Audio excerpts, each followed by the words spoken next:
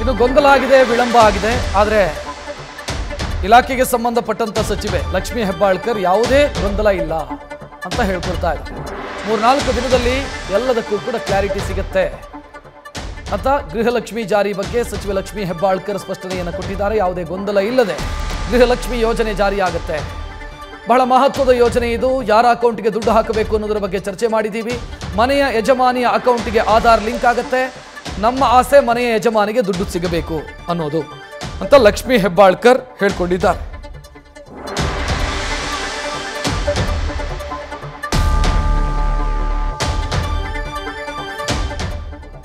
ರೀತಿಯಾದಂಥ ನಮಗೆ ರೆಡಿ ಇತ್ತು. ಆದರೆ ಅಕೌಂಟ್ ನಂಬರ್ಗಳು ಅದ್ರ ಬಗ್ಗೆ ಸ್ವಲ್ಪ ಚರ್ಚೆ ನಿನ್ನೆ ಕ್ಯಾಬಿನೆಟ್ನಲ್ಲೇ ಆಯಿತು. ಯಾಕಂದರೆ ಮಜ್ ಮನೆ ಯಜಮಾನತಿಯ ಅಕೌಂಟ್ ನಂಬರು ಆಧಾರ್ ಲಿಂಕ್ ಆಗುತ್ತೆ. ಆಧಾರ್ ಲಿಂಕ್ ಅಕೌಂಟ್ ನಂಬರ್ಗೆ ದುಡ್ಡು ಹೋಗಬೇಕಾ? ಅಥವಾ ಮನೆ ಯಜಮಾನಿ ಅವಳ ಬಯಕೆ ಥರ ಯಾವ ಬೇರೆ ಅಕೌಂಟ್ ನಂಬರ್ ಕೊಟ್ಟು? ಯಾಕಂತಂದರೆ ಆ account number, Aadhaar link account number ಬಹಳಷ್ಟು ಜನರ ಎಕ್ಸೆಸಿಬಿಲಿಟಿನೂ ಇರಬಹುದು. ಸುಮಾರು ಚರ್ಚೆಗಳು ಬಂತು, ಅದನ್ನೆಲ್ಲ ಹೇಳಲಿಕ್ಕೆ ಆಗೋದಿಲ್ಲ. ಸೊ ಮನೆ ಯಜಮಾನಿಗೆ ನಮ್ಮ ಆಸೆ ಏನು? ಆ ಮನೆ ಯಜಮಾನಿಯ ಅಕೌಂಟ್ಗೆ ಎರಡು ಸಾವಿರ ಹೋಗಬೇಕು. ಸೊ ಆ ಮನೆ ಯಜಮಾನಿ ಈ ಆಧಾರ್ ಸಂಖ್ಯೆ ಲಿಂಕ್ ಆಗಿರುವಂಥ ಅಕೌಂಟಿಗೆ ಬೇಡ.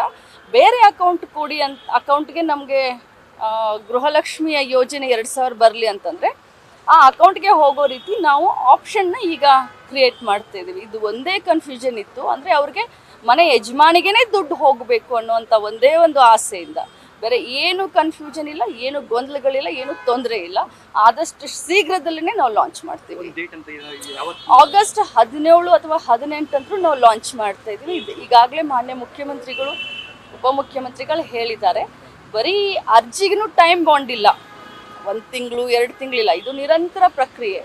ಸೊ ನಾವು ಹೇಳಿದ್ನಲ್ಲ ಒಂದು ಎಂಟು ಹತ್ತು ದಿನದೊಳಗಡೆ ನಾವು ಇದನ್ನು ಲಾಂಚ್ ಮಾಡಿ ಸಾರ್ವಜನಿಕವಾಗಿ ಅನುಕೂಲಕ್ಕೆ ಇದು ಮಾಡಿ. ನ್ಯೂಸ್ ಫಸ್ಟ್ ಪ್ರತಿಕ್ಷಣ ನಿಮ್ಮೊಂದಿಗೆ.